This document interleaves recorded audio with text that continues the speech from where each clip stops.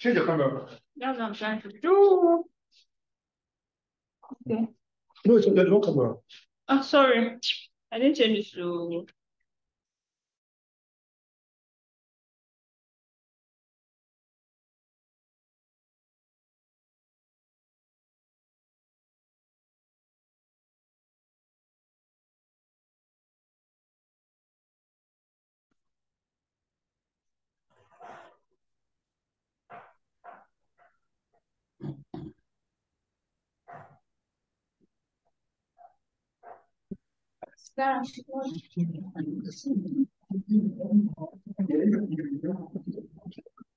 Good morning, everyone. Good morning. Morning, boss. Good morning. Good morning, Vice Chancellor. How are you, sir? I'm doing well. And you? Well, we thank God. Alhamdulillah. Um, let's see. I have Dr. Irere Mina Phyllis uh, Bridget is here. I have uh, Professor Aibinu. Uh, could you change your name to yourself, uh, Vice Chancellor, sir? Because I could see myself in so many. Can you change the name? Or is this the host? Uh, just identifying my name with uh, the co-host. I believe uh, Professor Olaitu. We, we thank God for that. Alhamdulillah. Is it possible that we see the faces of the presenters?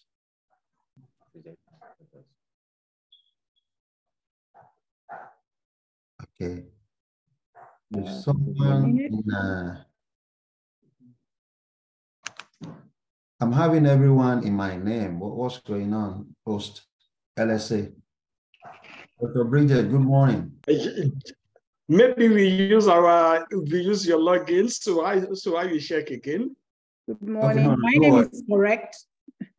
Your name is correctly projected, yeah. Yeah. But uh, BC, you can change, you can change your name. You go to participant, identify yourself, and then change. It seems- It seems our panel is, uh, or our session rather, is uh, using the same ID. And uh, it's okay, it's okay, just that uh, Tijani cannot be all over. So, But so, if you uh, are not Prof, sir, Yes, what sir. I think, I think what has happened is that perhaps you shared your own login details to everybody. Everybody have their own uh, unique login link that they should use. It's in their email. That way, we won't have uh, we won't have this uh, issue. It's not really an issue, just that uh, there are many followers. I think um, the best option in a double quick match is to go to the participants and change names. I think that will solve the Yes. problem in a double quick match. Thank you. Thank, thank you, Dr. Mustafa. I have done so. Done so, yeah. Dr. Mustafa has done so. Uh, LSA apologies. Uh, that is why I was trying to reach uh, Professor Said. We don't want you guys to eat into our time. We have a, as- a, a, a lot to do, to learn, to start right Um. Is it possible that we change the names by ourselves? Yes, that's what we are saying. LSA All right, thank conference. you. is. That's what I'm trying, that's what I'm trying to do now. So whoever is coming in, they should please, uh, and uh, with the exception of the panelists, is it possible for the host LSA to mute all others, please? Or you make me a co-host and I will start muting because some people are fond of coming in and uh, unfortunately they will not mute and we do not want any distraction. It is 1247.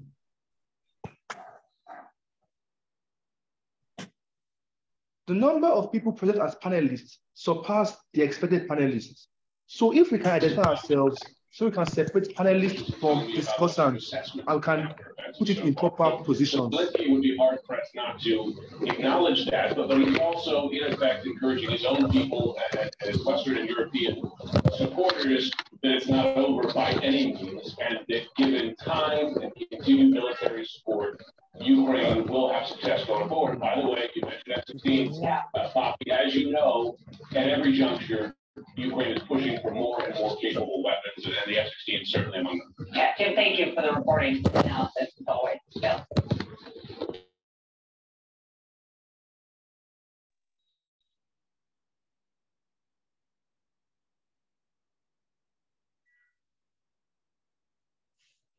The, in the program, we have a total of around six panelists or five, but currently we have 15 here. People are entering as panelists, but they are discussants and they are panelists. So probably we can identify Yes, ourselves so we can properly distribute each of the members of this session. Thank you. We can type our names in the chat box and we will do so.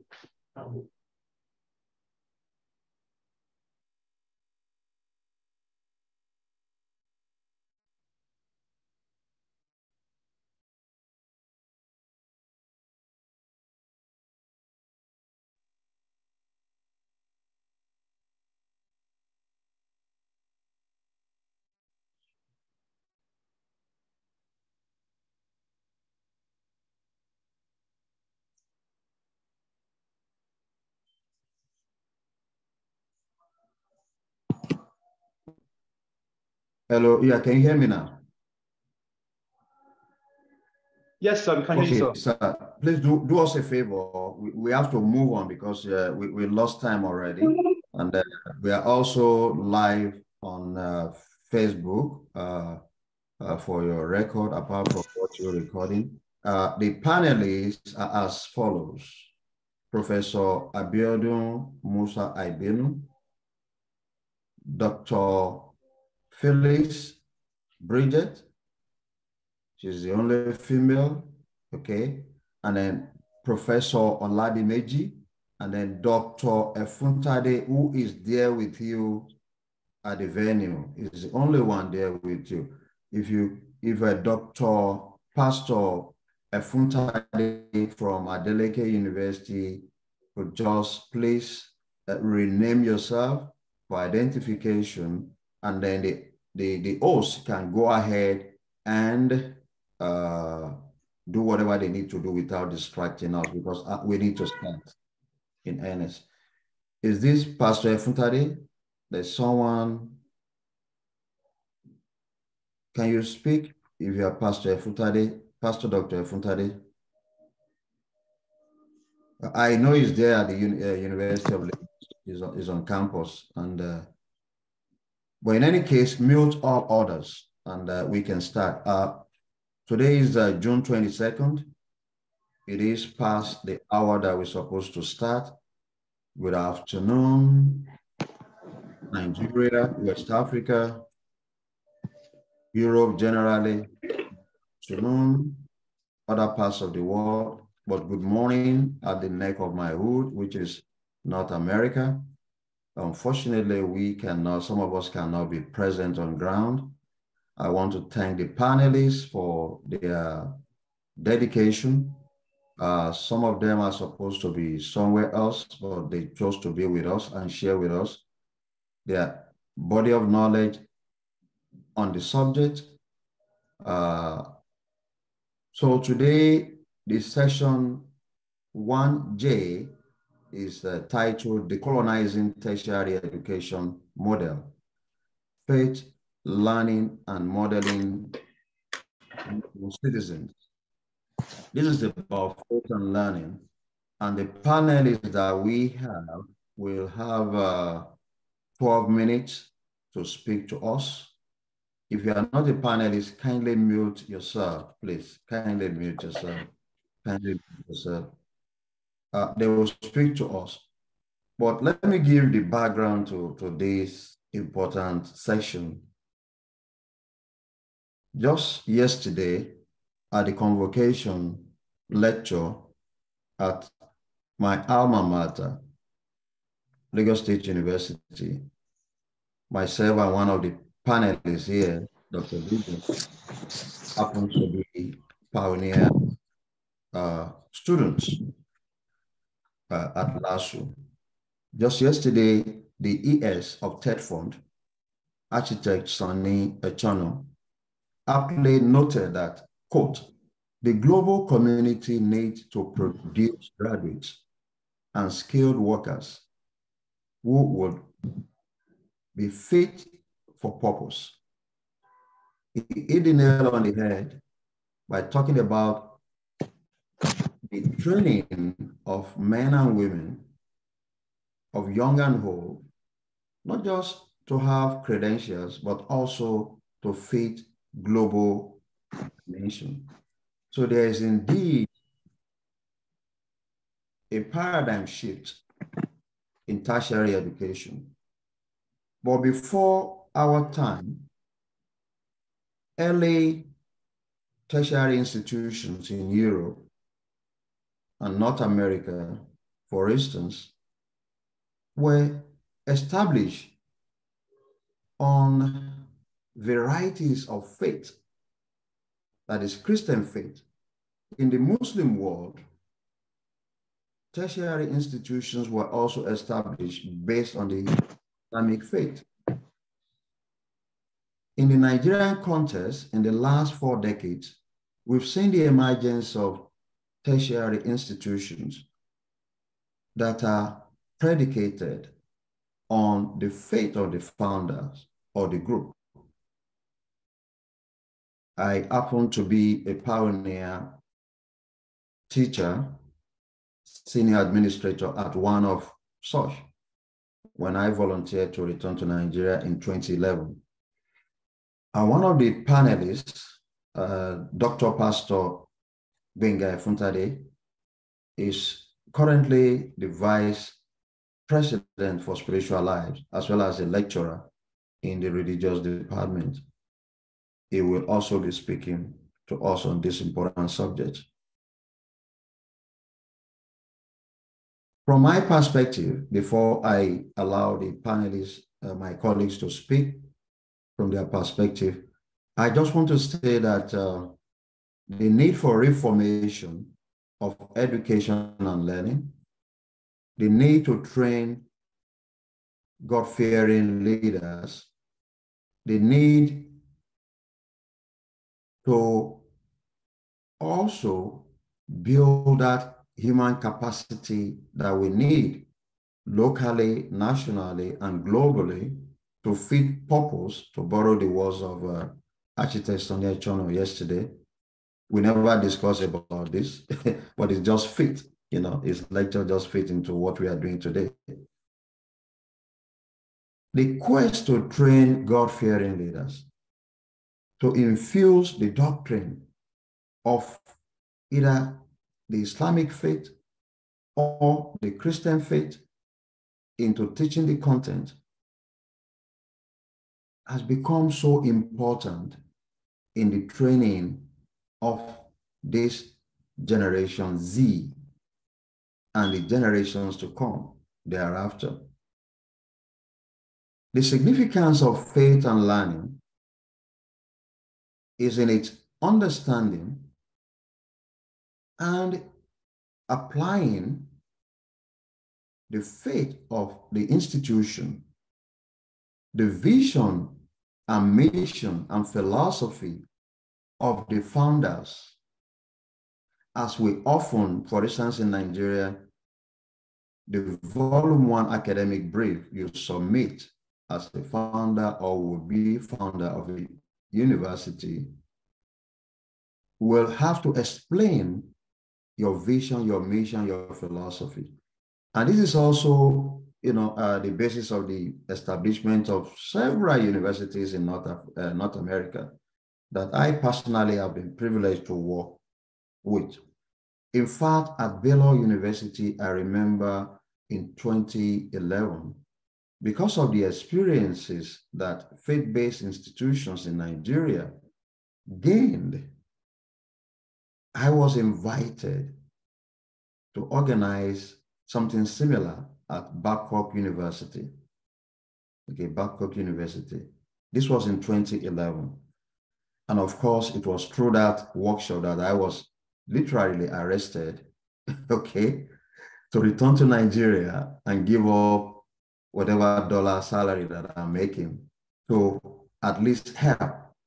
And that is how I ended up at uh, Adeleke University with their own brand of Seventh-day Adventist faith, Christian faith-based institution uh, established by uh, Dr. Adedeji Adeleke. If you don't know him, maybe if I say the father of Davido, then you probably know him now. So this section is a mix of distinguished scholars, senior administrators, who were not necessarily, necessarily trained at the faith-based tertiary institutions, but are now agents. They are now abingers of infusing and implementing the faith of their employers in marketing, in recruiting, in training and curricular development that does not run foul of the National Universities Commission uh, if we're looking at the borrowing the paradigm of the Nigerian uh, space. They have gained experiences, even despite the varieties of Christian and Islamic faith of the institutions. It is my pleasure to introduce to you the following panelists. Uh, we have a vice chancellor with us, Professor Abiodun Musa Aibinu. He is the vice chancellor of Summit University in Offa, Kwara State. And he will do more introduction when he speaks to his uh, presentation for 12 minutes. We are also a deputy vice chancellor, my brother, Professor Latif Oladimeji.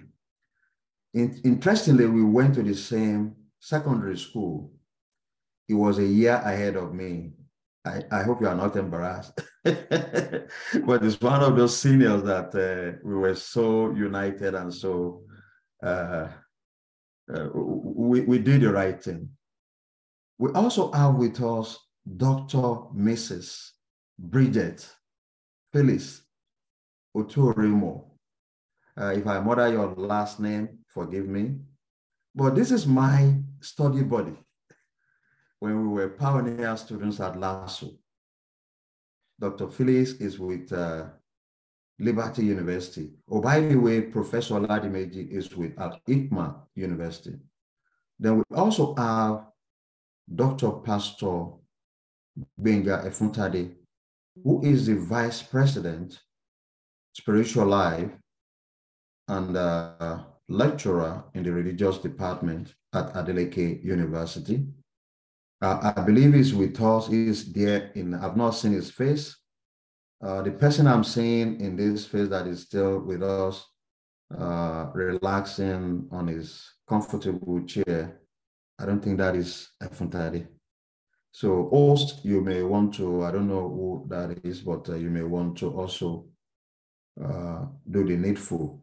If Dr. Efuntade is there in the room we're supposed to use for this session, kindly also project him, uh, host. So in this order, not necessarily in terms of seniority or age, I, I think I will yield to the Amazon in our midst. Uh, from my neck of the hood, they say ladies first.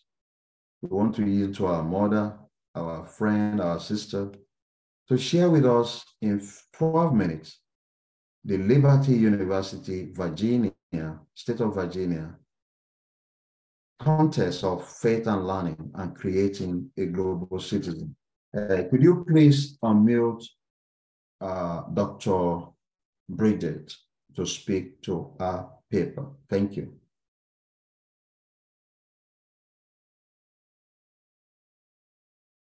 Good morning, everybody. Good afternoon in Nigeria. It's um, so interesting. It's such an interesting topic.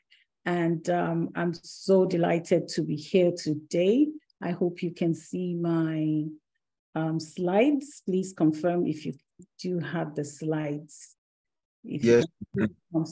Thank you so much. Thank you so very much. So, um, what are we talking about today? Decolonizing tertiary education model benefits of I, I added the benefits because that is why we're here today. Just like Prof said, my study buddy forever and my mentor, you know, um, it, there's, there's, there are great and huge benefits of integrating faith and learning in modeling global citizens. I'm just a simple girl from Nigeria, um, working at Liberty University, privileged to work at Univers uh, Liberty University in the International Student Center because I believe in making meaning to my life, integrating faith in what I do in every aspect of my life has led me to Liberty University and interestingly to the International Student Center. I had the opportunity of an adjunct professor position, but I chose this so that I can make a difference. So whatever we do in life, whether it be a Christian, whether you be a Muslim, it is because you are led to fulfill destiny. And that is so huge in this, in what we're talking about, because the, the society that we are in right now, in if we're going to model this Gen Z and then Gen Alpha, that you know that it's they just keep describing themselves in different pronouns.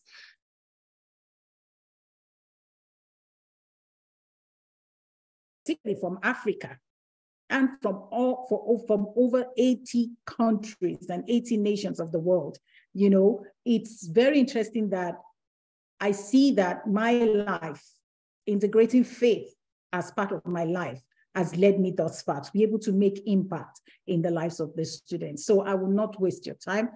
Um, I gave it a thematic definition of um, uh, decolonization free from dominating influence. That's all it is. We want our universities to be free. And like Prof said, it ha we have to identify what the problem is. We have to challenge the status quo. We have to revise. We have to replace those assumptions, those ideas, those values, those practices, you know, and that actually reflects what the colonization or colonizers have that dominate, you know, dominating influence. I chose Merriam-Webster dictionary because that's exactly how I feel about this, about this particular situation. In the educational context, we need to confront, we need to challenge the practices. And I've seen it work in, um, in um, Liberty University. What needs to be decolonized in the higher, in the higher institutions or higher education? Prof talked about it that higher institutions need to restructure their role within the, you know, um, the, the, the, the, the society, the larger society. Why is this, why is it necessary?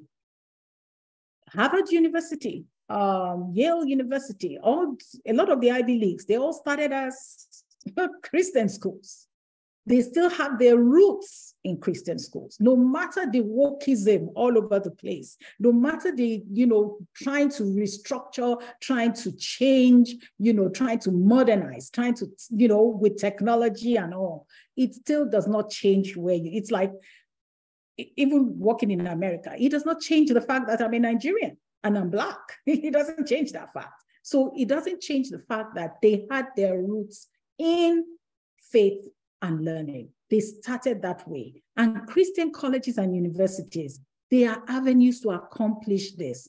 They were avenues to colonize as well. And so they are also avenues to decolonize. And research has also shown that educating the entire individual, the whole individual, spiritually, cognitively, socially, emotionally, physically, is what will make the difference. That's how we're going to do it. And um, ASHA 2020, uh, 2009 had this to say that the work of um, decolonizing the entire individual is not only self-reflective efforts.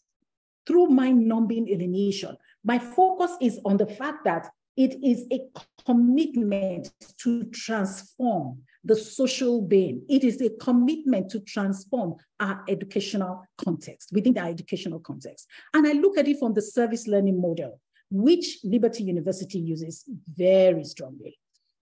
Is the ability for us to be able to reconnect with the community, reconnect with the community to conceptualize knowledge and practice. It's a blend of what you're learning in classroom, how can you apply this within the society to make a difference? How, what is the depth of your knowledge? And do the students have a support system to be able to accomplish this? The University of Victoria went into deep, you know, extensive research and their own model aligns exactly with what Liberty University is also doing. There's an interaction between academic study, practical experience, civic engagement, and then the service learning integrated, integrating these three, because the students have an opportunity to gain this knowledge within the, the, the, the traditional classroom with understanding of how to apply it by volunteering their Christian community service with an identified and approved community partner. And they practicalize what they have learned. Sometimes they go on internships and sometimes they go on field works and sometimes they also have the opportunity to go on mission field. The mission trips are also so very interesting because it allows them to indeed integrate their faith with what they have learned and apply it in this in improving the society. And that's the way we're going to develop these global citizens that we're talking about leaders that can make a difference. That is always what it is for me. Leaders that can make a difference. What can we do? The integration of faith, which I see as one's personal belief, the philosophy, your relationship with God, through the profess for me it is through the profession and the acceptance of the lordship of our lord jesus christ as savior and that's the that's the platform on which the liberty university stands and the learning process of behaviorism you know how you respond to what you have learned, how you respond, how what change, what change comes out of you. Then, you know, co the cognitive, what, how do you retain? How do you restore? How do you retrieve this knowledge that you have? How do you retain it? And how do you apply it? You know, and research also says that it is through service learning. Service learning, according to B. Jacoby, is in the higher in the higher in higher education is a form of experiential education in which students engage in activities that address human and community needs. If it's not addressing human beings, if it's not addressing how it can make human beings better, if it's not addressing how you can help the people around you, if it's not addressing how you can make an impact in your society, in your community, it's not worth learning. It's just a waste of time. So we see within the Liberty University, students going for law and then going for evangelism. They, so they have a dual uh, uh, um, um, um, academic pursuit. They're studying law to be lawyers, but they're also studying how they can use law to be an evangelist within, the, you know, when they go out there, when they graduate. So you see the benefits of service learning according to research that there's a connection between theory and practice. If one, effective student learning outcomes, critical thinking skills, students develop empathy. There's, they, they, there's a development of both within themselves and their interaction with other people. They can accept their failures. They can accept their pains. They can accept the challenge that comes against them when they tend to stand for what they believe in because that's what we want. That's what we want. We want global citizens who can stand for what they believe in, who can stand for the truth and the, you know how to defend their faith and what they believe in in their profession and what they've learned. And then intrinsic, there's also cross-cultural awareness. I teach a, I teach a, I, I teach in a workshop that um, some fellows within our division must take, and some international students. Because what is service learning? You learn how to interact with other cultures. I organize over 14, sometimes 27, depending on the semester, sometimes 27 workshops and for federal regulations, you know, helping them to, and then they, we also have 12 definite, distinct cultural, historical, and cultural events where the domestic students and the international students come together to learn about their cultures. What do they value? What makes them the people that they are from different cultures? And they begin to appreciate and learn how to intentionally communicate with one another the best possible way that they can. The Liberty model. I love Liberty. Liberty is not just a beautiful school, but it has, it is well equipped. Liberty is well equipped. And what is it all about? What's their philosophy? The philosophy is one, put God first. Once you're able to recognize the fact that you can put God first by accepting the fact that God exists and his authority. And funny enough, because of the conservativeness of Liberty University, we have Muslims coming to study in Liberty University. We have atheists coming to study in Liberty University. Trust me, not all pastors' children believe in God.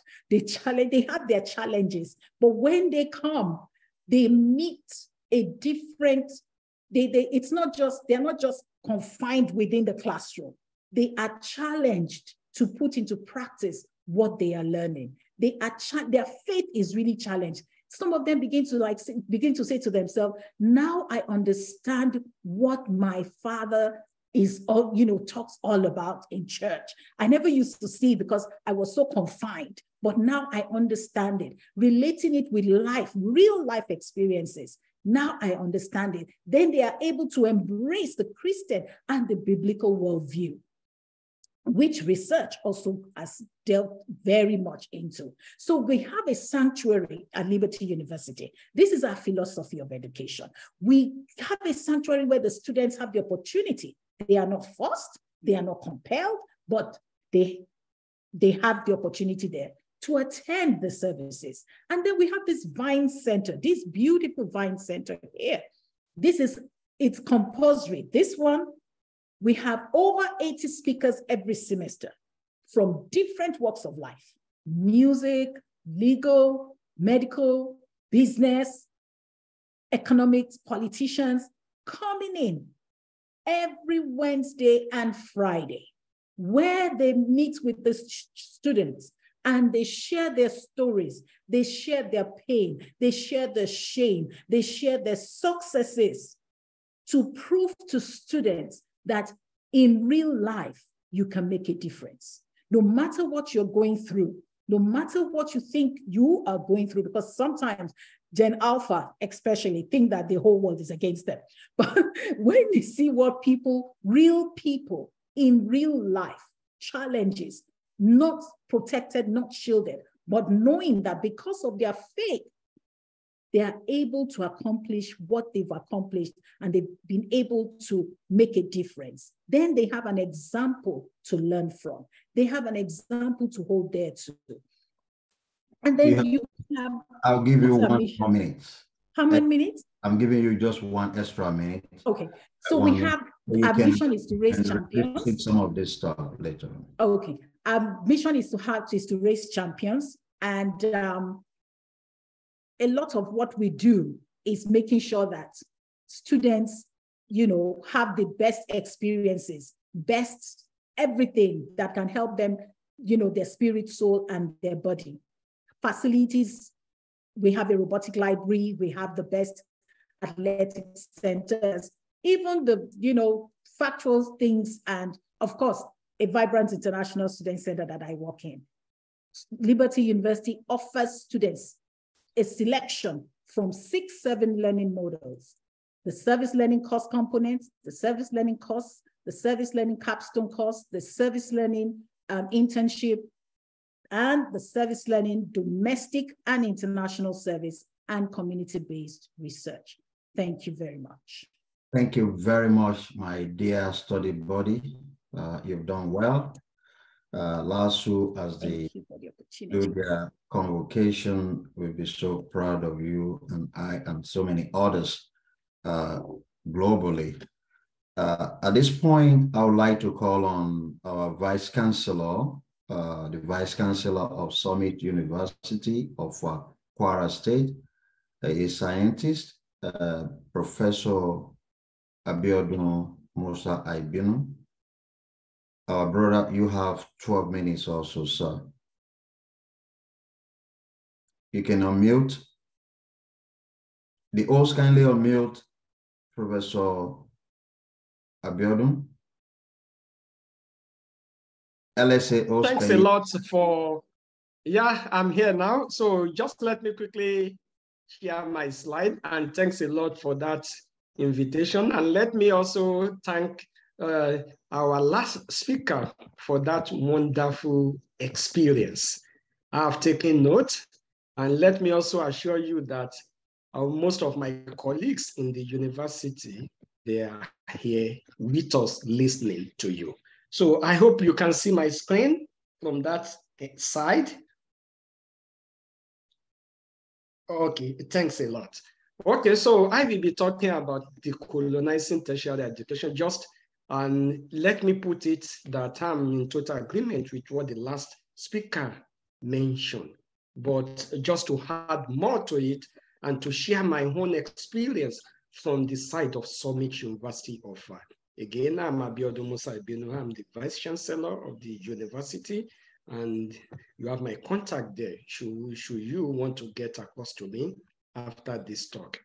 Basically, on my own, this is what I do, mechatronics engineering, academpreneurship, which is just academic plus entrepreneurship, and then we have the artificial intelligence. But today, I will be talking from the area of what we call spiritual intelligence, which is mixture of or of, of religion, spiritual, and the technology, but different from what we, we have learned and rest. And that's why we are going to be looking at decolonization, decolonizing the education. So, but before going further, let me share with us what we stand for.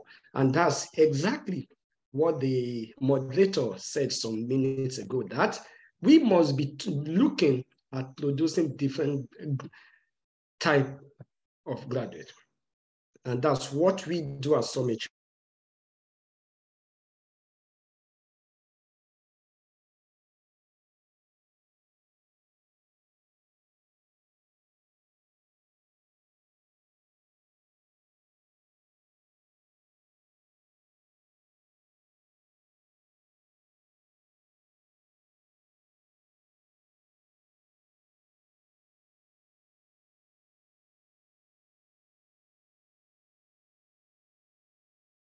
Number one,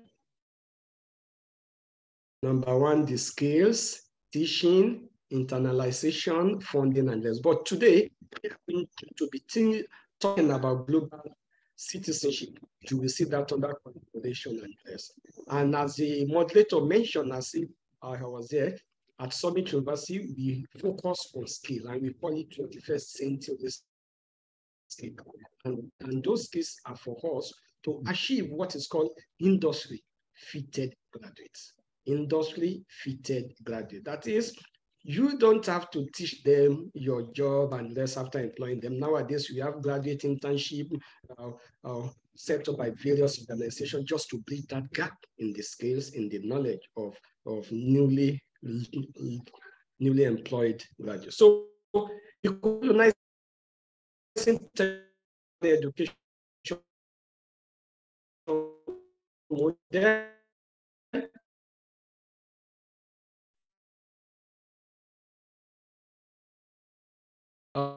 uh, they provided academic standard to what is called CCMAS, Core Curriculum Minimum Academic Standard.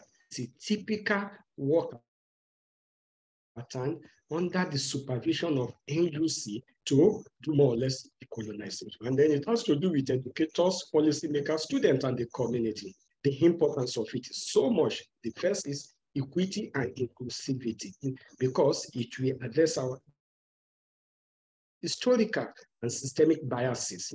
Why do you have to teach me about some European explorers when I'm here to know about our local explorers in Nigeria?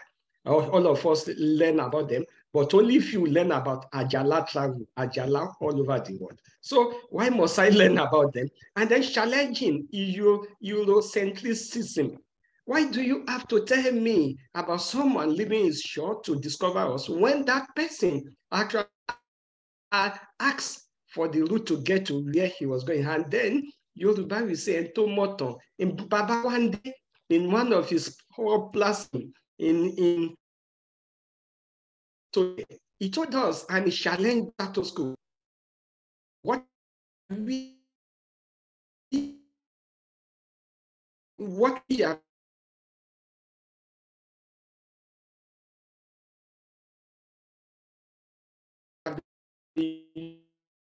use that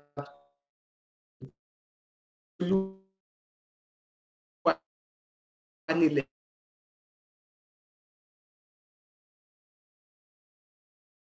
way. So, and then uh, that also leads to what is called imposition of curriculum. But the curriculum we are trying to change now under the systems developed by us, jointly developed by the academia, the industry, and the community, and the student. But the role of faith in decolonizing education, number one, foundational values and worldview. That's part of what we, we are presently doing. And that's what spiritual intelligence is all about. That is, how do we use everyday knowledge? Uh, how do we use AI and the rest to solve everyday problem? And the moral and ethical education, the last speaker mentioned this also. And the transmission of religious knowledge and tradition. When you look at us in Africa, you at every particular point in time, we believe in something superior than our knowledge. So no way, no, no how we normally arrogate something as something that is much powerful by, than you and me. So we need to put that one into the context of our education. And then I, another belief, community and character uh, handling. So let's now quickly look at Summit University faith-based approach. Let me just quickly summarize that Summit University is a university owned by a faith-based institution, which is Ansarudin Society of Nigeria. And we operate on triple helix, knowledge, skills, and moral. When you look at it, knowledge, and you talk about skills. Nowadays, everybody is talking about skills and then morals, which must be from the faith. So uh, that's why at Summit University, we have introduced seven skills. And I want us to pay attention to the last one. The first one is financial literacy. Everybody must be financially literate now. Clean and renewable energy. In Nigeria, we are energy deficient country. That is, energy poverty is very high in Nigeria. We are not talking only about financial poverty, energy poverty. Family and leadership, artificial intelligence and ICT, academic That is how we turn anything academic, how we turn it into what? In, into business and startup. But look at the last two. We have specifically introduced that because of decolonization. Number one, history, heritage, and storytelling. We must be able to tell our story and we must be, we must understand our history and value our heritage. And the last one, the last skill is what we call Islam and global citizenship skill. We now talk about, I can be sitting down in Nigeria and be working in America, take my breakfast, and then go to America, work and come back for lunch. So it is about integration of faith and knowledge and the moral and character development and job creation and entrepreneurship and the cultural preservation. Those are some of those things we have put in there. So what are the key components of the decolonization model we are looking at? Number one, curriculum transformation. We cannot continue to teach our children, our students today, the way we were taught yesterday. The way we were taught yesterday was for us to sustain the colonization model, just to keep it working not to stop. But if you continue to teach like that, then we are not preparing our students for tomorrow. So the curriculum with the with NUC leading CCMAS is actually doing that. And then inclusion of marginalized voices. Uh, just about a few months ago, we, we, we won a grant funded by Royal Academy of Engineering, and the title of the grant is Artificial Intelligence for Female in STEM. And then, but the area I want to look, I want us to look at is the for us to have an idea that we want to set up artificial intelligence, female-centered artificial intelligence lab, just by provision of where they can share, they can feel more relaxed. It's about our inclusion of the marginalized and cultural preservation.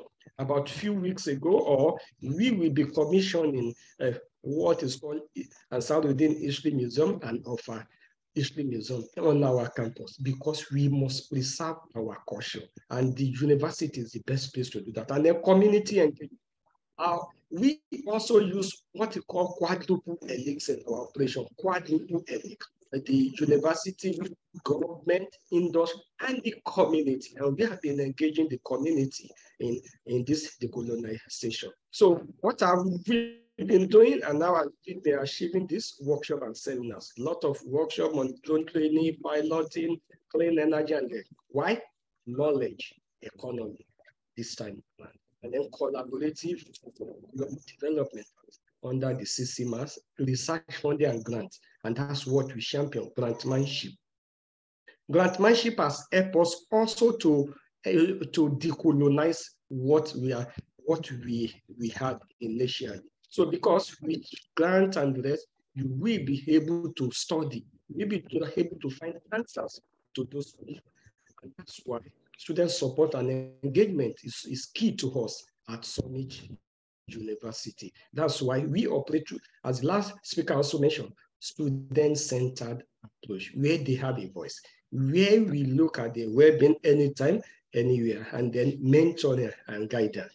Uh, I mentioned Royal Academy of Engineering for the grant. We have mentoring scheme under that, and, and that's another way you can remove people, you can decolonize education. And a lot of initiatives from the students is about democratization of teaching and democratization of learning. That is, let the student teach themselves and their holistic support services. That's part of what we are also offering as part of decolonization model with feedback and evaluation. So what have been the achievement so far? Uh, NUC, I'll give you one more minute. Yes, I will quickly round up in the next one minute. So these have been some of our achievements. And then about a few weeks ago, and we we had graduates from the community, and then at Offa now we are we can pride ourselves as the center of PCB, printed circuit board in Nigeria. Do you need any printed circuit board? It's a joint venture between one innovation hub of uh, Engineering and, and Summit University. Conclusion, or in concluding, decolonizing tertiary education involves challenging the colonial imbibe or infused system. And then, but at Summit University, we are trying to integrate faith, knowledge, skills, and moral together so that we can align with broader decolonization effort and achieve global citizenship. It is on this note I say if we if if it doesn't matter how many resources we have in Nigeria and the world, if we don't know how to use them, those resources will never be enough. It is time for us to decolonize totally our mentality, our knowledge, our faith, and our skill. Thank you for listening. And thank you for this opportunity to share my little knowledge and experience. Thank you. Thank you very much, uh, Mr. Vice Chancellor. Uh, we really appreciate you. Uh, we're all clapping. They're clapping on Facebook. I think the total attendance thus far virtually is uh, almost uh, 100. Uh, we have folks on the live Facebook that I'm zooming. We have folks joining us at Unilag. We have at the command of the Vice Chancellor, on summit ground Offa almost everybody. I don't know the population of students and the faculty there. They are there by fire by force. Okay. And of course, at, at IPMA, we have uh, the DVC uh, and the uh, also, you know, calling his own troop. Uh, the organizer, the LSA, could you please check whether Dr. Efuntade, Bing Efuntade, is uh, in the room where we're supposed to be having this seminar. Can you unmute and answer that question? No, it's not, sir. Because it's been there since yesterday. Is there anyone, is there a way you can check that particular room where we are scheduled to meet physically? This is the Uh, room where everyone is scheduled to meet physically, but Mr. Benga is not here. Uh, Dr. Benga, sorry, is not here. Hmm, Okay, we'll, we'll continue. Uh, the next speaker is uh, Professor Latif Oladimeji from Al Hikmah University, and uh, he will speak to us from the realm of uh, Al Hikmah uh, and how faith and learning is occurring. At the end of the day, we will take questions. So please, if you have uh, identified people on ground uh, that would like to ask questions, I need you to do that for us uh, on ground at the University of Lagos.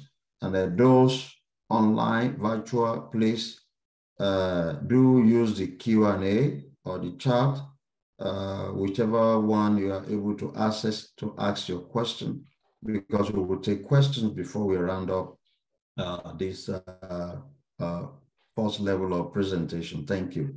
Professor Ladimeji. Thank you very much, Mr. Moderator and members of the panel, distinguished uh, ladies and gentlemen. I want to say that this is a privilege, a rare privilege for that matter, to be here. I am uh, Latif Folorunsho Oladimeji, and um, like I've been introduced before, uh, Deputy Vice Chancellor Al Hikmah University. But apart from that, uh, also a stakeholder as far as Hikmah University is concerned. I am the secretary to the Board of Trustees of the university. The idea that came together to bring what we now have as a Hikma University in place. Let me begin on a note of apology that I won't be able to share slides. Actually, I'm on transit now, and in the next few hours, I will be you know, going on you know, uh, Hajj, where I'll be spending several hours on air. So I'm even lucky that this program is coming up before I actually go and start boarding for the Hajj. I'm so happy about it, but unfortunately, I couldn't, I would not be able to share my slides with you. I'm sorry about this. Uh, however, I will speak to my uh, paper, Decolonization of Education, the Islamic uh, perspectives. That is the way I've viewed it. And um, I want to begin by saying that I stand to concur with the two previous speakers, uh, my dear sister and my brother, Professor my Binu, who have spoken before my presentation. This is because the issue of decolonization is a phenomenon that everybody in the realm of education will agree that is the end thing. So this theme is coming at the very appropriate time and my institution at Al Hikmah University is very much keen about it.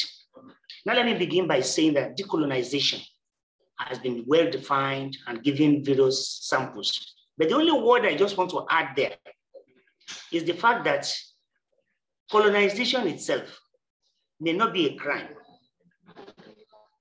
It was a concept that was brought in at a point in time to attend to some issues. Now to decolonize is to ensure that the right thing at the right time for the right people is done. And that is what this theme is uh, talking about. Al Hikmah University joined the League of Proposed University in the 1990s when the gate, the door of privatization of education in Nigeria was flung open under President Olusegun Obasanjo. But before then, there has been an institution, a College of Higher Islamic Studies, which serves as a kind of the diploma program under the Abdul-Raheem Oladimeji College of Islamic Sciences. The intention at that time was to produce diploma students who would go and further their studies and complete a university education. So we're sending them to Chad Republic, to Benin Republic, to some other African countries. But when this idea came up, and the federal government of Nigeria opened the door for privatization, we felt, why can't we metamorphose from this college to a university? And that was exactly how we started the idea.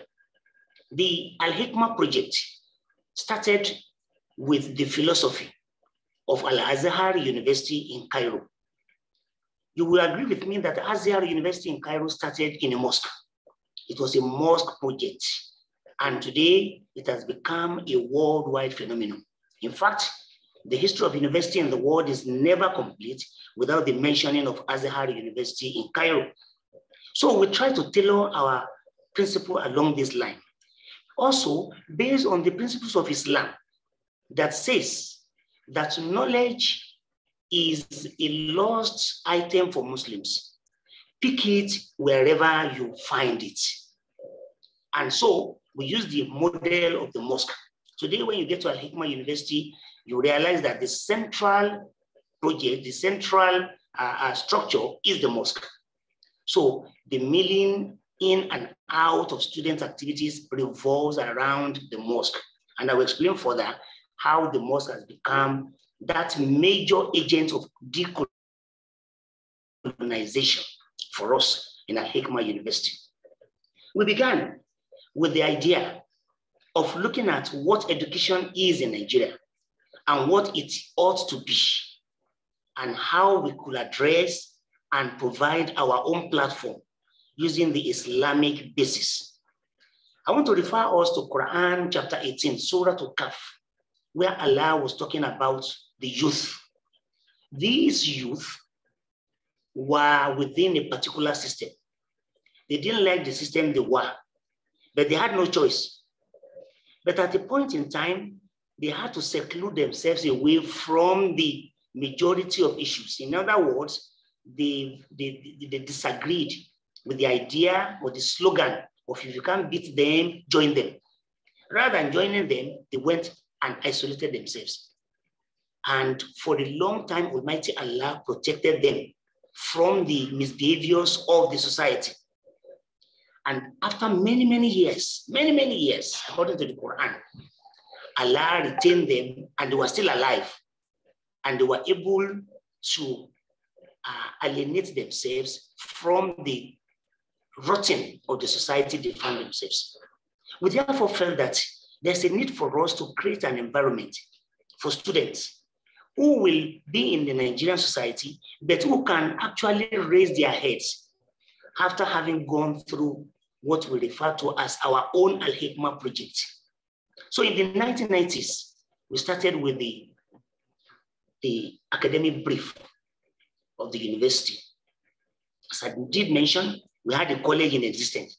So we now advance those ideas in the college to the university system. And I happens to be the, the link between the committee and the National Universities Commission. So we'll tailored our academic brief in line with the Sunnah of the Holy Prophet Muhammad and the injunctions of the Holy Quran that says that a complete human being is what is worthy of any learning because you just don't learn and take a certificate. We realize that in Nigeria today, certification is the in thing. And so we started with our academic brief. And fortunately, the NUC saw sense in what we were planning and they were, they were going along with us. In 2005, January, we got the license to operate as a university. I won't be able to delve much more on the curriculum, but I must say here that the curriculum is tailored towards Islamic principles and the amalgamation of what we have on ground and how we can improve on it and create a kind of uh, uh, uh, suitable environment for Muslim students. So how do we go about that? We started with our logo. Our logo, learning for wisdom and morality. Learning for wisdom and morality. Number two is that we see the situation in schools as very, very precarious. The teachers themselves, who are to teach and impart the knowledge on others, they are very rotten. So what Al Hikmah did is to ensure that we work on those who will impart knowledge on our children. The teacher themselves were, first of all, the one that were trained that you must go through a Hikmah training before you can be a lecturer in a Hikmah university. Because what you don't have, of course you cannot give.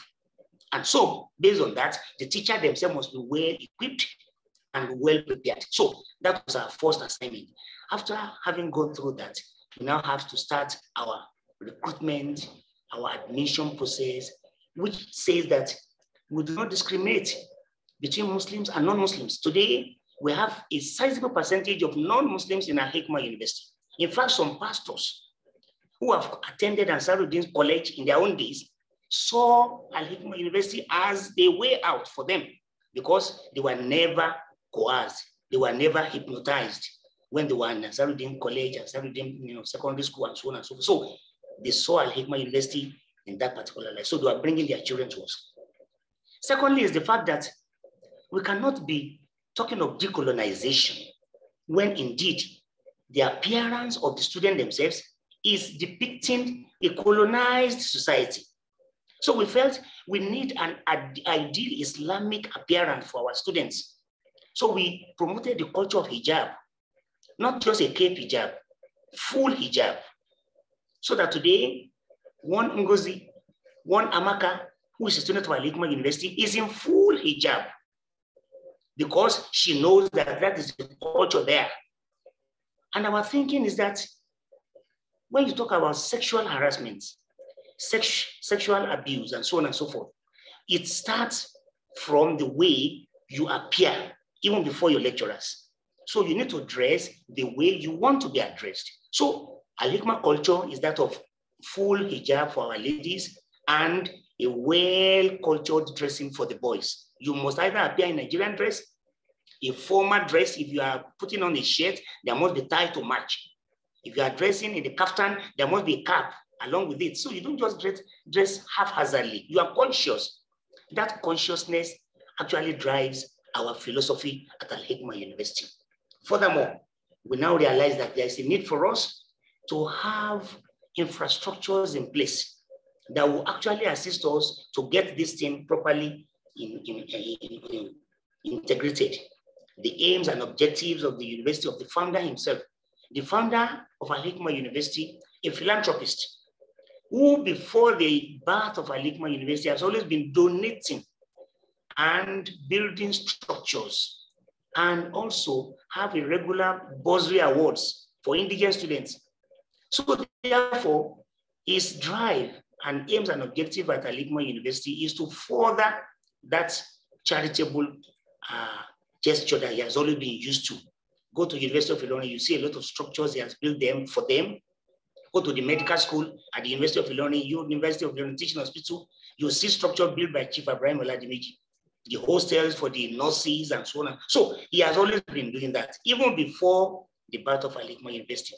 Therefore, the aim of Al Hikmah University is to give access to students who are brilliant, but who have one way or the other some kind of uh, challenges.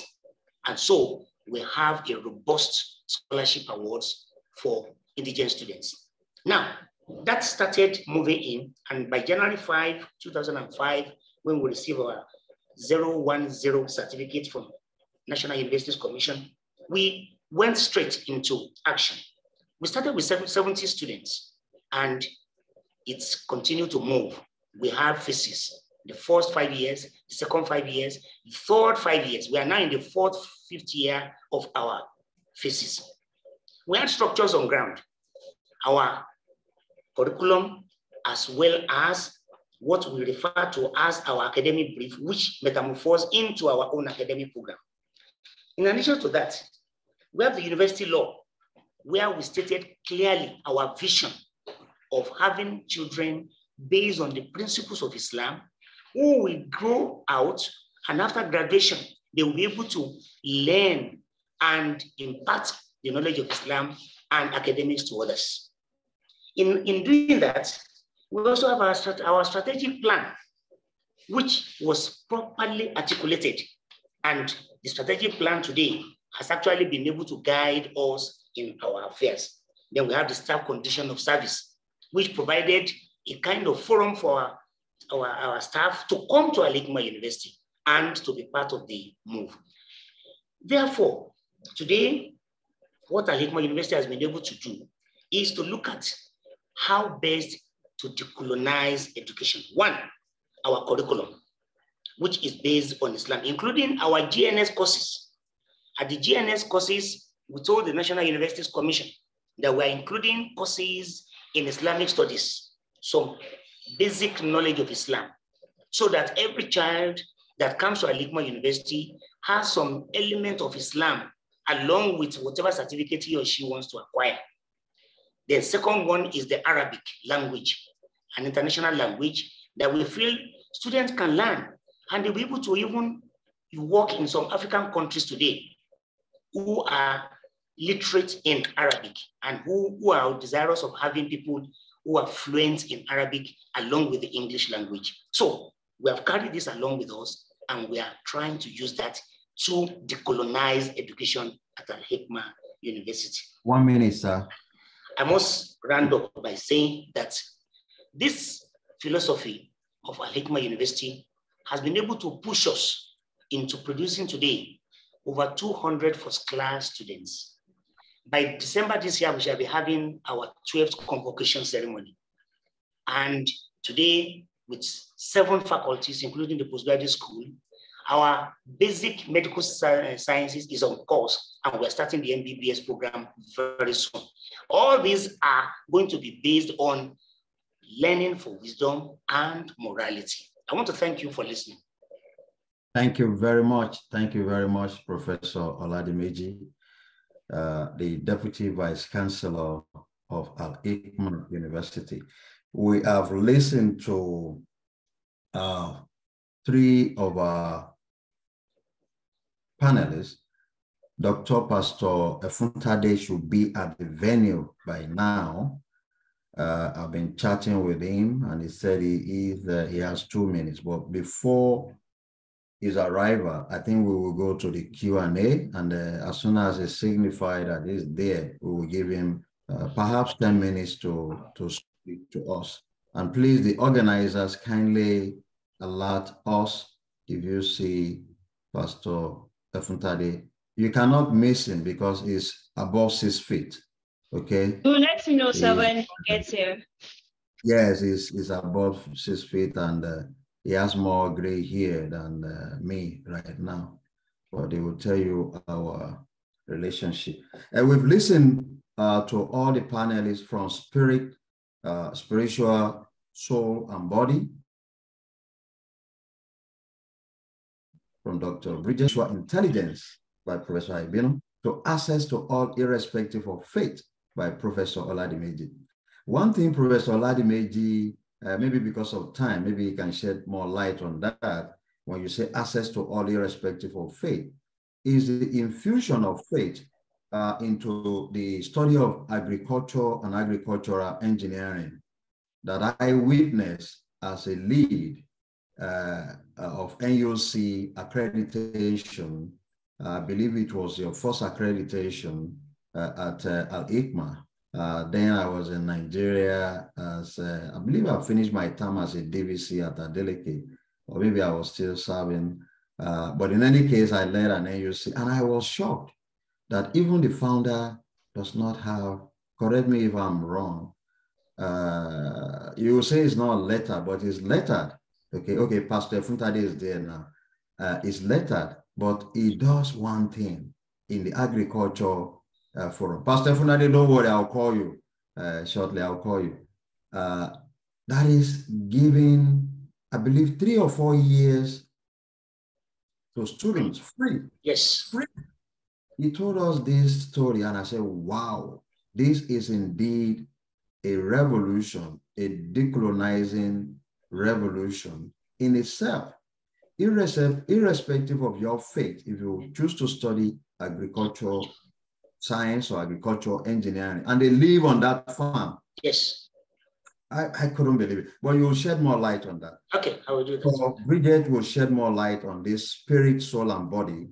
Uh, you uh, will give you more time to shed more light. And uh, the same thing with uh, Professor Aibinu, spiritual intelligence. Uh, I'm fascinated. And uh, you know, I've been seeing so many things you've been doing uh, uh, with all this science, your background is science, yet you are a champion of H STEM. In other words, humanity and STEM, which I have always been preaching, that the STEM cannot survive without the humanities. And then look at the way you're weaving all the story, the narratives of knowing us. Okay? Ajala travel. That metamorphose into Andrew checkout. You're looking at migration issue also. How do we teach it? Both formally and informally. Then you go to Jakba and Japada and then Jalo. The varieties of this is very, very important. At this point, I'm going to call on my own dear brother also, and uh, one of the pioneer staff of Adeleke University in Ede, uh, currently the vice president of spiritual life and uh, a teacher of course, at the Adeleke University, Dr. Pastor Benga Efuntade, the tallest man. He remained the tallest man at Adeleke University. And I told them when you were coming in that once they see the tallest person entering with some white beard, more than mine, uh, that is him. And I think they did recognize you and gave you the seat. Manage the, the plastic chair I, I remember those plastic chairs when you teach spiritual life to those pioneering students. Some of them are now PhD holders. Some of them are, you know, you've transformed. So please speak to us about the Adeleke University model that you so much pioneer and you are still at the forefront of that faith and learning. Uh, you have 12 minutes. We can still accommodate 12 minutes for you because we are supposed to close this show at uh, 245. Correct me if I'm wrong, uh, LSA host. No, sir, 215. Okay, 215. Okay, uh, Dr. Efuntade, please, let's do, let's do 12 minutes. You have the, the floor, sir. Can you unmute him? Thank you so very much, uh, Professor Tijani. It's nice to see you here again. Um, I thought I'll be able to see you live here in Lagos, but it, it's okay. Technology makes things um, easy and we can have this conversation. Um, this is a, a, very, very interesting you know, topic, especially speaking from the perspective of faith. If you're talking about decolonization, um, one of the things that will concern um, anyone is, uh, well, maybe Christianity itself oh, and all sorry, the foreign. Sorry, sorry, Doc. If you have a PowerPoint, you can share. If not, continue to rock. Okay, so uh, I can have it for now, but it will be able to uh, flow. Um, Christianity itself is part of the heritage that we have, you know, from the Western world. So um, some people are the opinion that Christianity itself is part of the old baggage that's supposed to be um, offloaded from the system or, or you know, uh, foreign religions. Incidentally, uh, the Nigerian community have embraced more foreign religions than the traditional religion. Uh, people may even feel inferior or feel somehow uh, professing uh, the local African traditional religion. And uh, maybe that has its own, uh, its own implications. But when we look at the whole idea of decolonization, it's about addressing injustice, you know, pretty much um, it's a, uh, injustice in the system, especially in terms of power structure uh, of people on one side who are the oppressor, um, who happen to be the colonial uh, leaders, and the oppressed, the weaker people. And um, through that, they have been alienated, disenfranchised, you know, limited, and there have been agitations to, to correct that. Um, incidentally, I'm speaking from a faith-based, like Professor Tijani said, uh, from a faith-based institution perspective. And um, I see it in a, a, different way, in a way that broadens the conversation. That the essence of decolonization is entrenching justice, is seeking um, fairness to the end that the community can flourish and have access, access to power, access to knowledge, access to resources, um, and they will not be, uh, or the extent of marginalization will be lessened to a great extent. So when I speak from a Christian uh, point of view, I want to speak not just from a religious point of view, but from the spiritual point of view, there's controversy about the difference between spirituality and religiosity. Um, and I want to um, highlight that difference in terms of not just uh, the motions of religious beliefs, but the functional dimension of religion. And when we look at Christianity, we see that Christianity has pragmatic, you know, functional role that it plays in our community uh, to the point that uh, uh, referring to Jesus Christ's ethics of love, agape in the Greek, uh, which is a kind of selfless love that can be embraced, that is empowering. And that agape, the selfless love, is a, a springboard for justice, actually. You know, um, it's a springboard for fairness. You know, uh, Jesus Christ went on to say, love your neighbor as yourself. So there is no room for uh, for power display, for oppression, and anything that they can look at it like it in, in, in Christianity. So in you made reference specifically to Adeleke University, you know, um, it's a faith-based university with the philosophy of a total man education, a total person, a total human being, not only educating the mind, which in the traditional setting, education setting in Nigeria, that is the direction. You just come here and then it's more of intellectual engagement but to notice and to see that human beings are not uh, unidimensional, uh, we are multidimensional. And if one aspect of human life is developed and the other part is not developed, then the, the human being is not uh, really feel, uh, fit, especially when we are talking in the light of the global space. We are talking about the global citizenship. You know, of course, we know all the debate about citizenship. Uh, there's a particular framework that um, gives certain rights to certain individuals because they belong to a particular geographical locations, you know, backed by law. So uh, in, in, in theory, that is that is um, in practice of it, there is nothing as much as um, that can be called global citizenship uh, because it means that you are not rooted in any particular location or you are not delineated, you know. But a whole lot of things have been happening, and Professor Tijani talked about uh, Japa syndrome, Japa, Japa, Jalo, you know, migration and migration challenges, you know, uh, uh, voluntary migrations, uh, migrations caused by wars, by internet displacement, and all the rest. And you know, the phenomenon of globalization has made the world a, a global village. We are connected, you know, uh, beyond what we want to accept and beyond what some, you know, um, national laws can actually accommodate, you know. So nations have to prepare their citizens you know, their citizens for the challenge of the emerging world, you know, uh, for the challenge of a connected world, interconnected, interdependent world, you know, and um, part of the decolonization is preparing people to be able, providing education for people to be able to function in the global, global space. And that is one of the things faith-based education, you know, is supposed to do. Uh, because, for example, in Nigerian context, you, one of our problems is problem of corruption and all of that. People are skilled. People come out of universities with first class, with all kinds of certifications and qualifications that give them, you know, competencies in terms of professionality, in terms of intellectualism.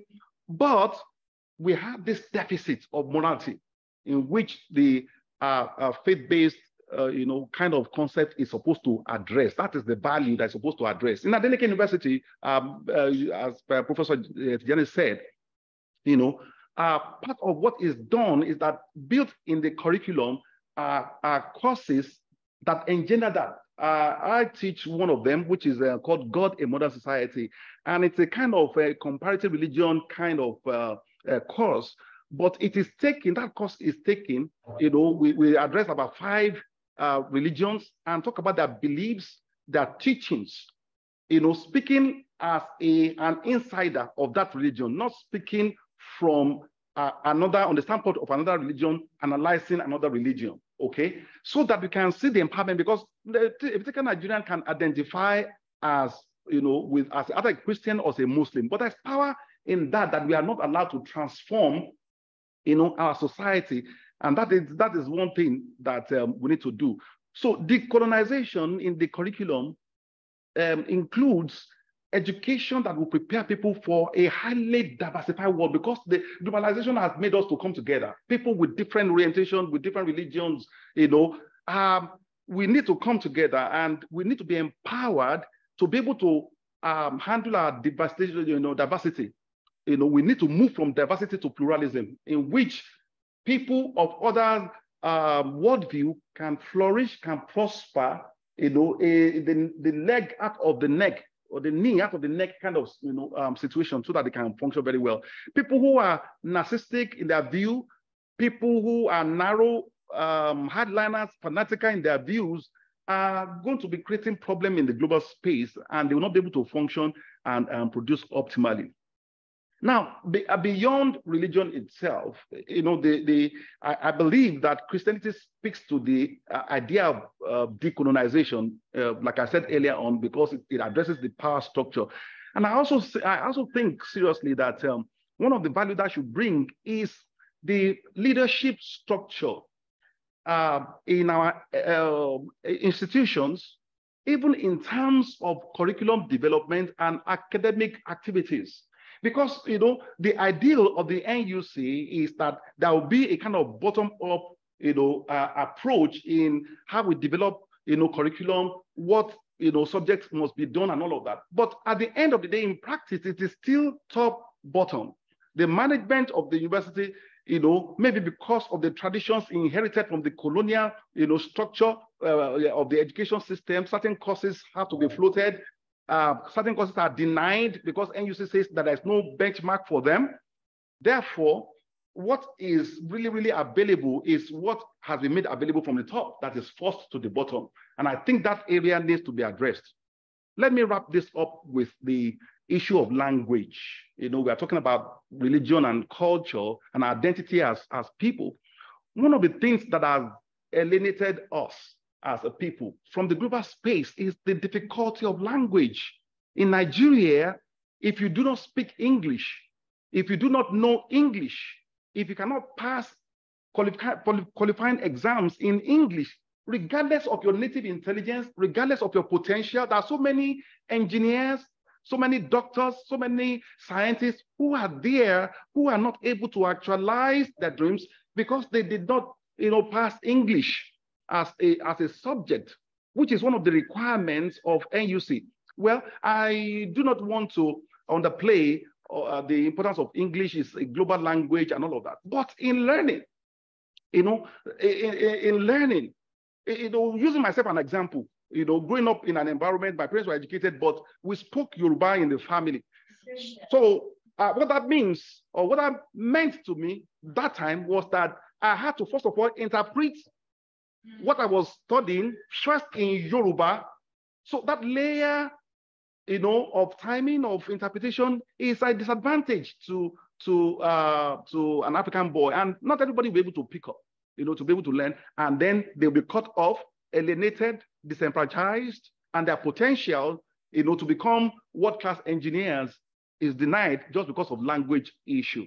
If we follow the principle of the Christ, you know, uh, the principle of love, of justice, of inclusivity, then uh, we should remove all the red tapes and all the obstacles in the path to learning and to becoming and to realize our potential. And language is um, is one of them.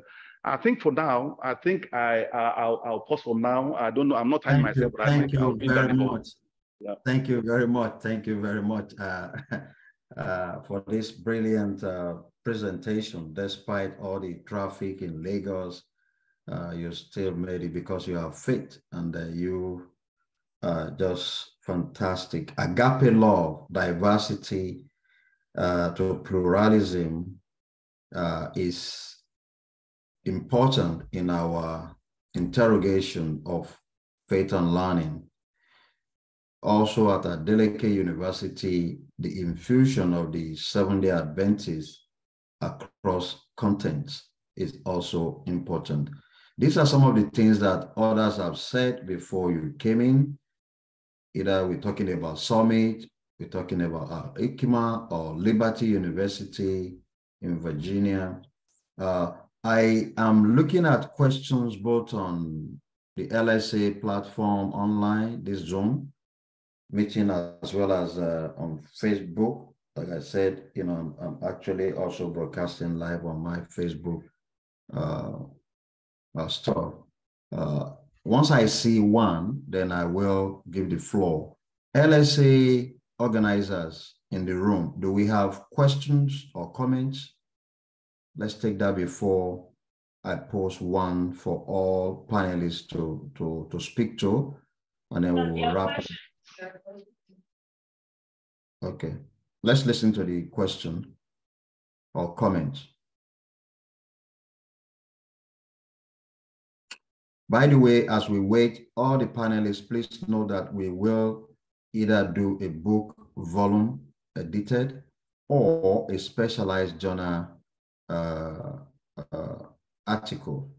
I was not thinking about this, was listening to the varieties and interesting informative. I said, wow. In fact, if we open it up, we are likely to have volume one and two, you know, books in this direction because we are just, you know, in a little of this. We also listen to students that have been through this system and what is their experience. Uh, have they really been made a global citizen? Are they really better off? So the floor is yours, LSA, whoever wants to ask the question. Introduce yourself, your name, institution, and then uh, ask your question or your comment. Thank you. Okay, good afternoon, Chair, and everyone in the room. My name is Nikia Labi. I work here at the University of Lagos. I'm a librarian. Yeah, my question goes to Professor Aibinu. I think I'm right. Yeah, during your presentation, you, you said a lot of uh, new things that are new to me. I heard from you for the first time, spiritual intelligence, ac academpreneurship, and I'm quite fascinated about those constructs. So you did say that one of the importance of decolonizing education is to ensure diversity, equity, inclusion, and I want to believe, um, well, equity, diversity, and inclusion. That is what is trending now in the global space, ensuring that nobody is left out, even including people who have disabilities.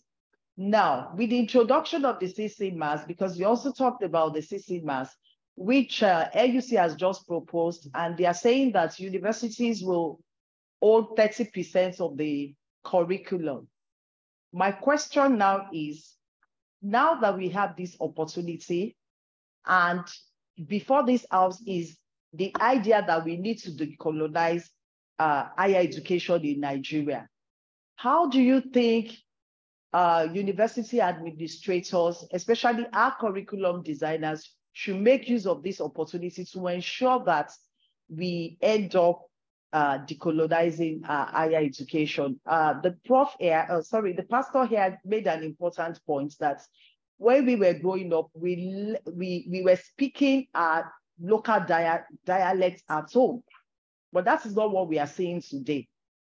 So I just want to learn from you. I want you to address this question. How can we can universities actually own the CCMAS and ensure that 30% of the courses they are going to introduce will ensure equity, diversity, and inclusion for their students? Thank you. Thank Thanks you a lot for asking that question. And can I take permission from the from the moderator, additional two minutes? Let me quickly tell us what spiritual intelligence is all Go about. Ahead. And then, okay, fine.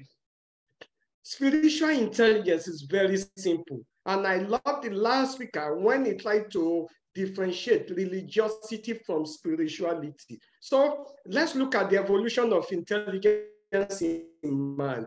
The first one we normally see is what we call PQ, the physical quotient. That's when you and me took our first step and we try to balance. Mommy and daddy will be so happy with us. They will say, oh, I'm then we now enter the era that we start to learn mathematics, arithmetic, and then, and everything was about IQ. Ah, then that was when we were in primary and secondary school and university. Immediately we graduate, we start working and we start talking about EQ. emotional quotient, emotional intelligence, because how you manage people. But don't forget, at the age after you after the age of 40 that you have passed through the midlife crisis, then you now need what is called SQ, spiritual quotient. That's when mommy, daddy, they continue to fish feature in church, pray in mosque and the rest. At that stage, it's no, it's no longer about your intelligent quotient. It's about inner wisdom, guidance, compassion, and the rest. So what is spiritual intelligence? Is, uh, spiritual intelligence can be described as the adaptive use of spiritual information to facilitate everyday problem solving. Moses in the Bible was able to pass through the Red Sea and rest. And then uh, Professor Abdul Latif mentioned about a verse in the Holy Quran about the people of the cave, how they were there for years and less and less. It's about transformation from time domain to frequency domain. So how do we make use of all this information to solve problem? That is what spiritual intelligence is all about. That is, spiritual intelligence can be described as the ability of individual to behave with wisdom and compassion while maintaining in, inner and outer peace, regardless of your situation. And that's what we need at, at the age of 45 and, and above. And then ability to utilize talent to know more, searching for meaning, analyzing existential, spiritual, and practical issues. So these are the, the, the four areas that, that we normally look at. Inner knowing, deep intuition, oneness with nature. You can never you can never innovate if you are not having oneness with nature. You are not not in your own skin, and then it's about problem solving. That's what. And then we have tried it everywhere. Yeah, based on your knowledge, your skill in spiritual intelligence, it leads to increase in innovation and creativity, and you can, and then success in business and less. So the most important thing is I, when you practice or learn more about spiritual intelligence, it, it increases your ability to tolerate others despite differences in belief and consciousness. Now to your question about yes, how, how, can institution adopt uh, or infuse all these things. That's the main essence of CCMAS. Each university is to use the remaining 30% to mm-hmm. put what is unique to them. Like all those seven skills that I mentioned in my previous presentation, we have the 30% gave us that opportunity to build it in. So I think it's about individual, it's about the management, are those who are developing it to know that these are the main things that are unique to us. I think CCMAS has come at the right time.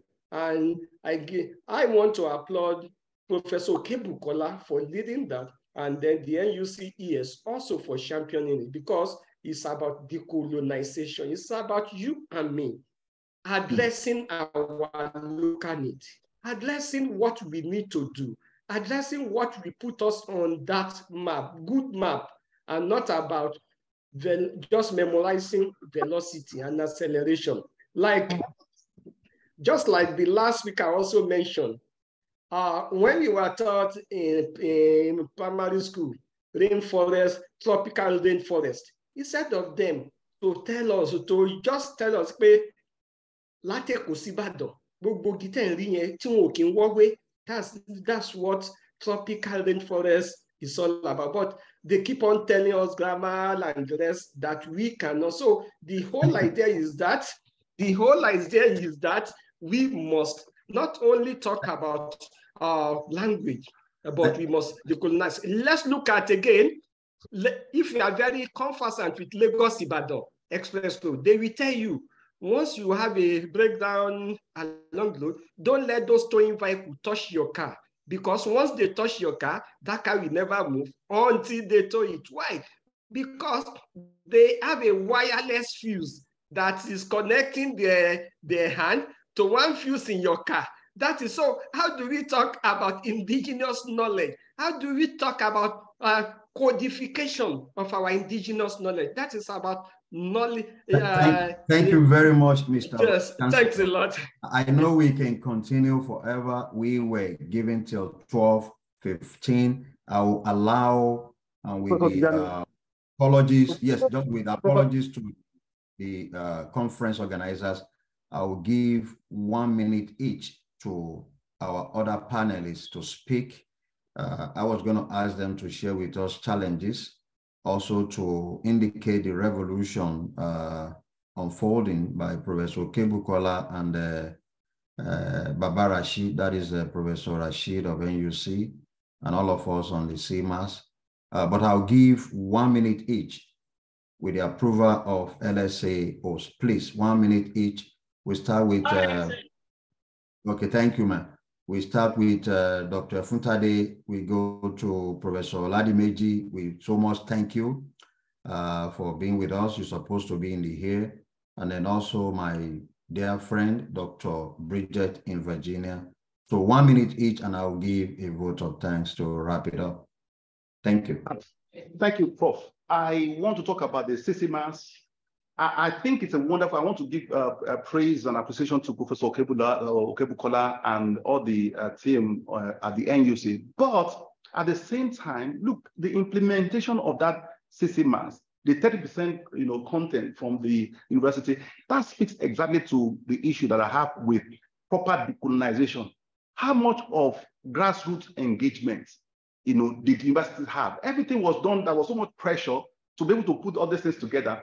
A limited conversation, and the conversation, who was it with?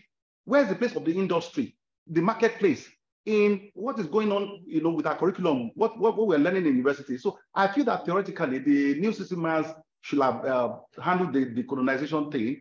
But for me, effectively, it's just a lip service to decolonizing education curriculum because there is no proper engagement from grassroots that should generate all the way up. Thank you. Thank you very much.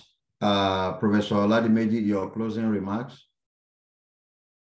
Uh, I want to say that the issue of uh, challenges should be taken more seriously how much of trust does the an average parent has in a faith-based institution such as ours, such as Adeleke, such as you know the one you have mentioned so far?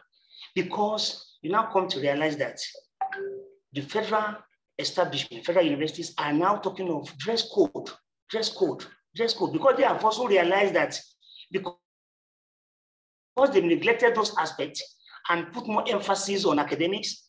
The other aspect is now, you know, you know, you know negatively impacting on the uh, the performance of the student. So how do we bring a whole, a complete child? We don't need to only emphasize the academics, we should also emphasize the spiritual aspect. And that is what Al Hikmah University is out to do. Secondly, is the fact that today, when you look at the faith-based institutions such as ours, the average person want to believe that no, what they go to do there is just to talk about evangelization alone. No, the issue goes beyond that. For instance, Al Hikmah University has just graduated the first PhD in peace and security in the person of the new Inspector General of Police, who defended his thesis in mid-May. And by know, October, November this year, he will graduating at Al Hikmah University. Ditto with other medical uh, aspects of our courses. But the emphasis is that whatever you are able to acquire from the university, the aspect of learning with wisdom and morality should be at top of whatever you want to do. So that when you are an engineer, do that with the fear of God.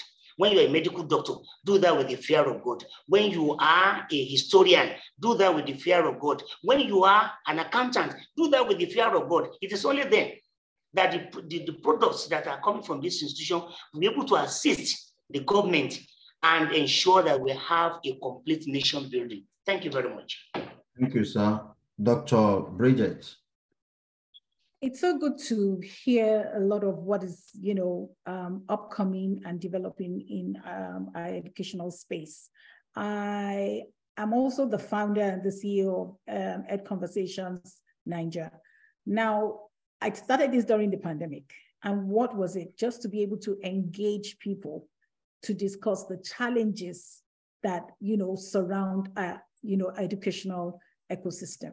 And it's so interesting that Um, Dr. Okebukola was also is also from you know from last.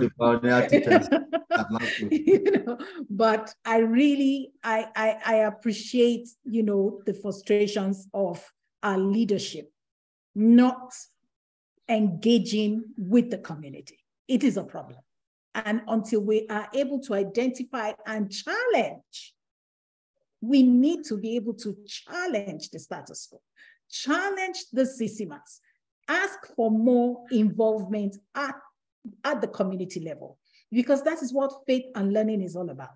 It is not just about morality. Morality has failed the society today. Morality has failed the generation of today. That is why I'm so interested. That's what got me interested in working with young people when I came to the US, because I saw that quite a number of our children, schooling Nigerians, Africans, people from other, other, other nations, the challenges and the frustrations that they experience in the United States. That's what led me. I think that was the gravitating force to be involved in tertiary education because they are able to challenge you. They have the opportunity to ask questions. Let our students be open in Nigeria. Let us be able to say, look, now you brought this curriculum. You want us to engage 30 minutes, but how am I going to apply what this spiritual intelligence in the marketplace? How will it affect, how does it challenge me to think critically? How does it, if you do not change the person, the inner man of a man, of any woman, change the dressing, change the dress code, emphasize all the morality you want to, it will not make any change. It will not bring any change. That is why in a Liberty University, it's more about service learning. 20 hours every semester. You must identify a community a problem that you have identified as an individual that has pricked your heart, that has challenged your, your status quo of thinking that, oh, I come from a secured family. I come from a secured environment, secured society. How do I go to Uganda? How do I go to Rwanda? And then how do I even go to California where there is fire outbreak? And what, how can I apply what I have learned in economics, what I have applied, what I have learned in in political science, what I have applied, what I've learned in science, what I've, I've learned in business, in such situations. How can I make that environment that is suffering better? How can I encourage the next available homeless man that has his, his home is burnt, is burnt down? How do I empathize? That is changing the inner man. And that can only be done through faith. Thank it you. It is only faith in God that can make thank, that change. Thank, thank you. you. Thank you very much. It is faith that has helped some of us uh, and taken us to what we are, who we are today. Uh, by faith, we're able to excel. By faith, we have the audacity to do and exploit to venture and to accomplish. And I think some of the questions in the Q&A uh, forum has been answered. Uh, what is the place of critical reasoning in faith-based curriculum and campus life? Uh, I think we've, uh, we've uh, the presenters, the panelists have uh, mentioned that. this conversation cannot end here. I think I have to do a roundtable at my regular uh, uh, Wilson Global Leadership Series at Morgan State University when we start uh, another session. Uh, I want to thank each and every one of you, both here present, uh, presenting, as well as uh, the, the panelists for finding time to share knowledge with us. the conversation will continue. I would like to thank the organizers of um, Lagos Studies as, uh, Association, uh, the, the executive, the board, of which I'm one of them, uh, the students, all the unknown, unknown, you know, uh, uh, people that are adding value to, to what LSA is about, what it has become. We want to thank you most sincerely. And also, we would like to thank our viewers on Facebook uh, Live. Uh, I think it will be on Facebook for this particular session. Uh, will be on Facebook for as long as uh, uh, we want to view it. And it will also be posted on YouTube for future. Uh, it has been a rewarding moment for me. I have learned when I started interrogating decolonization for my doctoral degree early in 1989. I never thought I would look at the varieties. And when I put this together, I did not know what these fantastic, distinguished, you know, colleagues will present. Uh, I thank you most sincerely. Uh, as I stated, let us continue the, the talk, but let us put the talk into practice and let faith guide all that we do. I am yours truly, Hakeem Tijani. Goodbye and God bless all of you. Thank you so much. Someone is someone is asking if you would be willing to share the slides with them. Which of the slides for those who well they will get in touch with, uh, with the organizer. His first slide, yeah. His first yes, we will, we will get with the we will get with the uh, organizer, particularly the president, after the panelists have reviewed, and then there's this caveat emptor of a kind of thing, because it is their intellectual property, and then they will determine, make a decision whether to release it to, let's and then LSA will now share, okay? All right, sir. Thank you, sir. Thank you, everyone. Yeah, thanks, Thank everyone. Yeah.